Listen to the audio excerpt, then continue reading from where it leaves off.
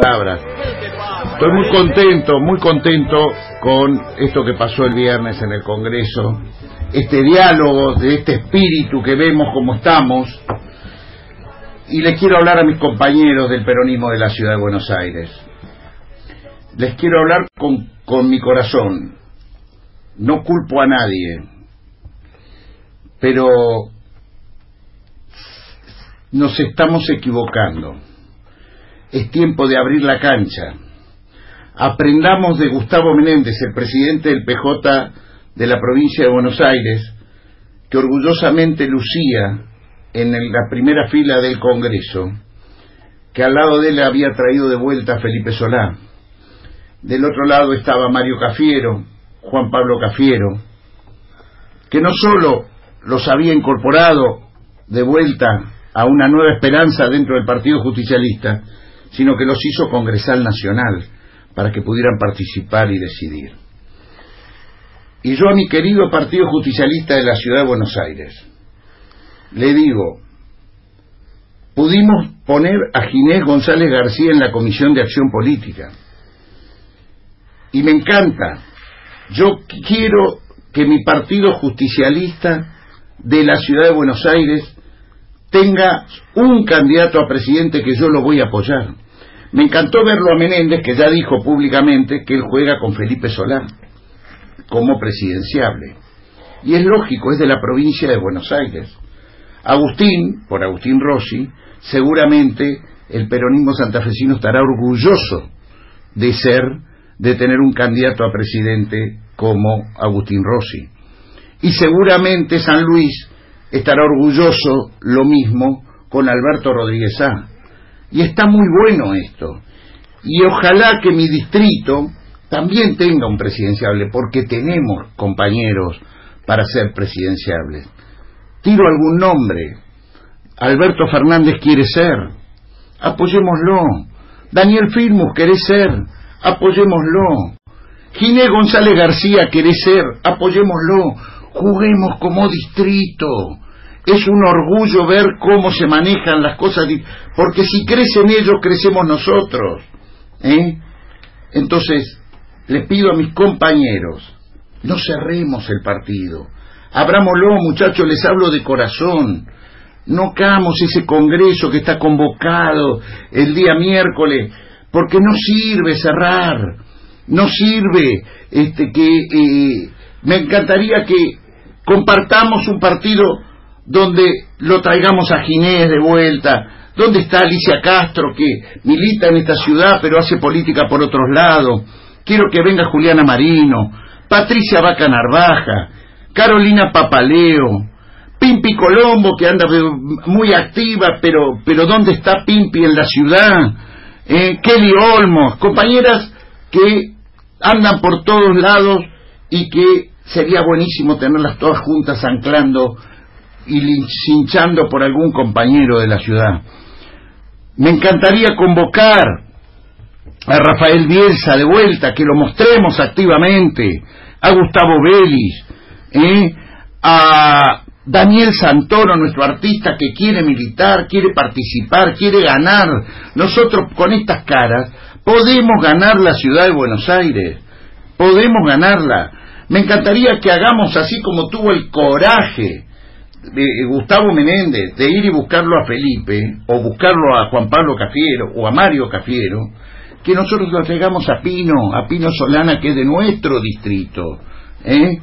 Ahí anda Gerardo Romano que quiere, quiere, quiere protagonizar la política, abracémoslo, ayudémoslo, que Guillermo Moreno quiere pelear y quiere discutir, pongámoslo en una mesa y juntos todos potenciemos para arriba y pongámonos de acuerdo.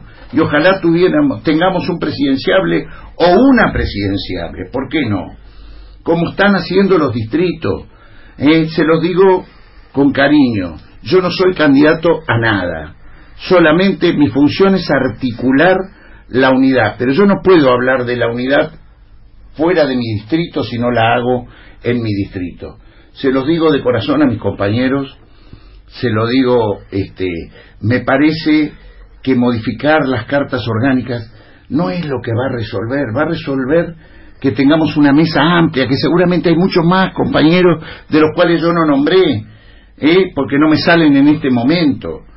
Pero esto se lo digo con cariño, con afecto, con amistad comprobada a mi amigo Juan Manuel Olmos, a mi amigo Víctor Santamaría y a mi amigo Mariano Recalde. Se los digo porque en manos de ellos está tomar esta decisión. Se lo digo de corazón. Y de paso, ya no digo más nada, y le quiero agradecer a Gisela, a Gisela Marciota, Amores bajo fuego, romances apasionados en tiempos violentos. Vamos a entrevistarla a Gisela el domingo que viene, Pablo. ¿Eh? Eh, me gusta esto que dice, este libro refleja cinco historias, un recorte mínimo y arbitrario del amor durante los años de odio que vivió la Argentina en los 70. Reconstruir cada una de ellas requirió de mucha audacia de cada uno de los que se animaron a compartir su relato para poder contar esos amores revivir esos años, remover emociones y recuerdos, nos hizo llorar a todos durante las entrevistas. Y ni hablar de lo que pasó cuando me senté a escribir cada capítulo. La angustia, la emoción me atravesaron el cuerpo como pocas veces me ocurrió en la vida. Nada de lo que hay en Amores bajo fuego es ficción. Cada historia es real, verídica y auténtica, única e irrepetible. Se trata de cinco hombres y cinco mujeres que pusieron el cuerpo para luchar por un amor y defender sus ideas con pasiones. Son diez valientes que con aciertos y errores se animaron a vivir intensamente.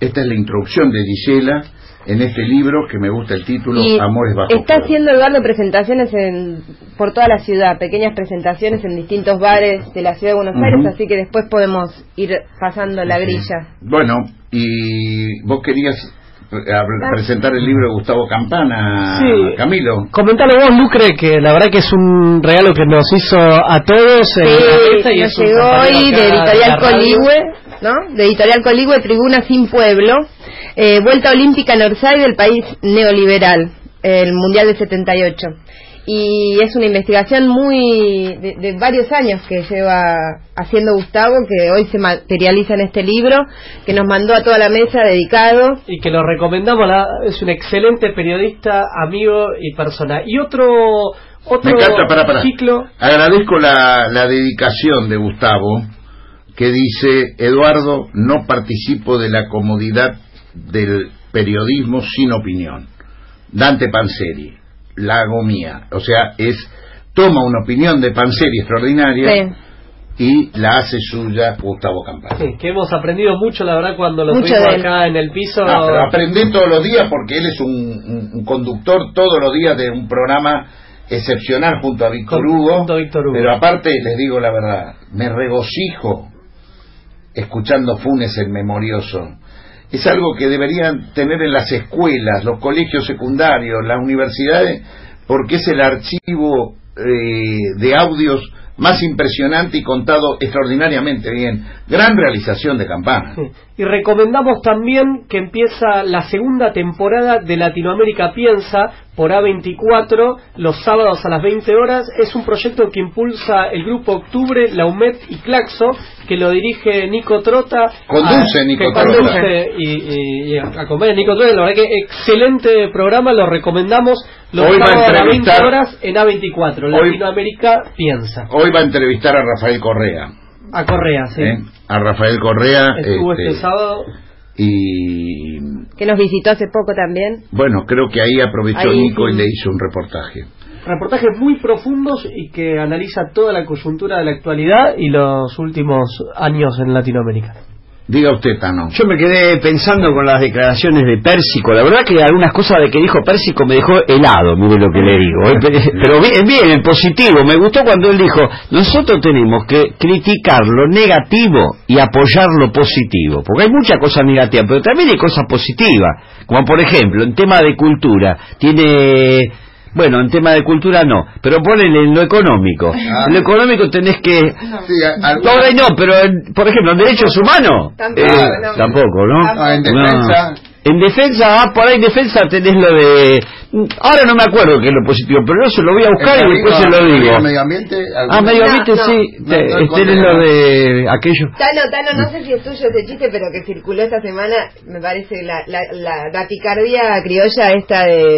eh, estamos tan contentos, tan contentos por el acuerdo por el, con el fondo que el gobierno está pensando en sacar a las Fuerzas Armadas a la calle para moderar sí. los festejos. Ah, muy bueno. Pero no, pero Muy además eh, Macri eh, prometió tanto, cumplió Sí. con todo lo que prometió, la verdad. Sí. Porque lo, su frase es que lo prometido Sí. es deuda. Sí, sí.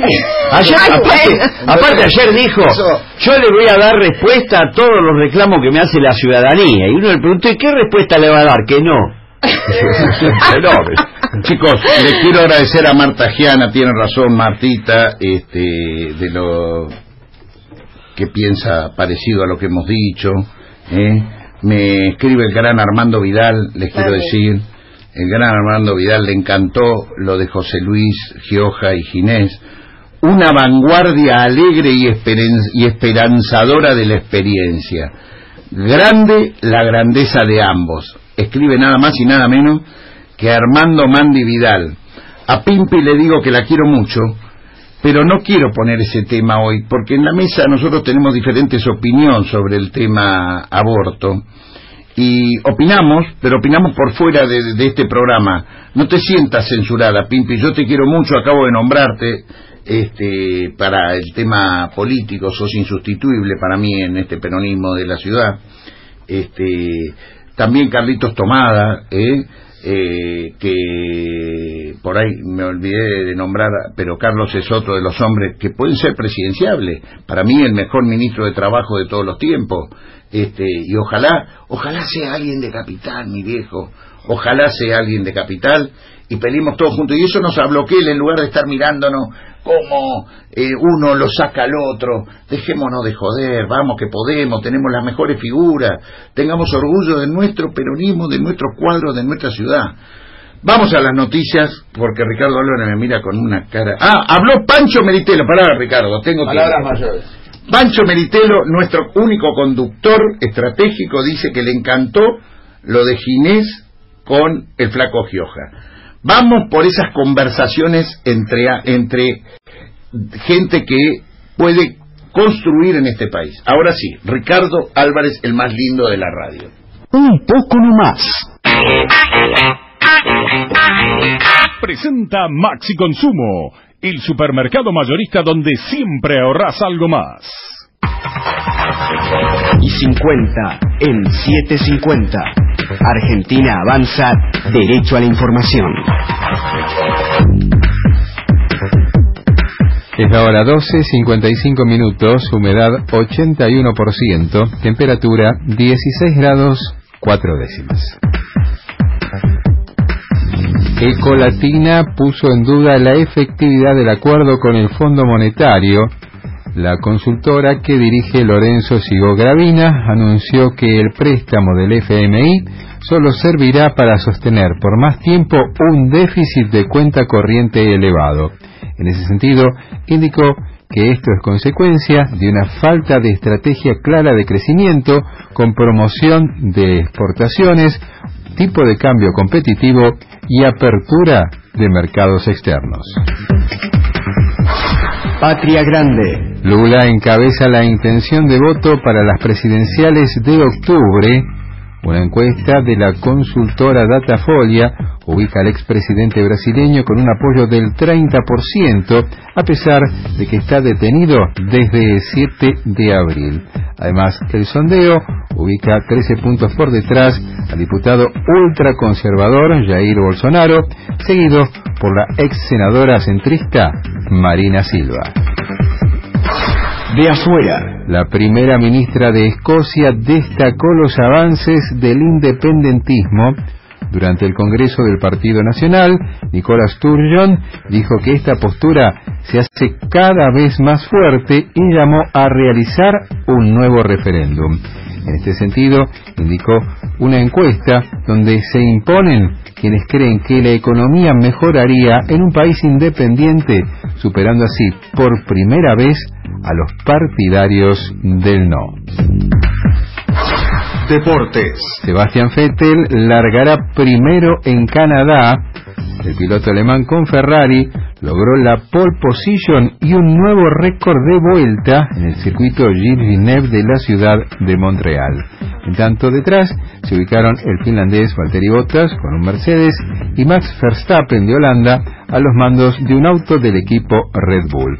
Recordemos que la carrera comenzará a las 15 hora de la Argentina y corresponde a las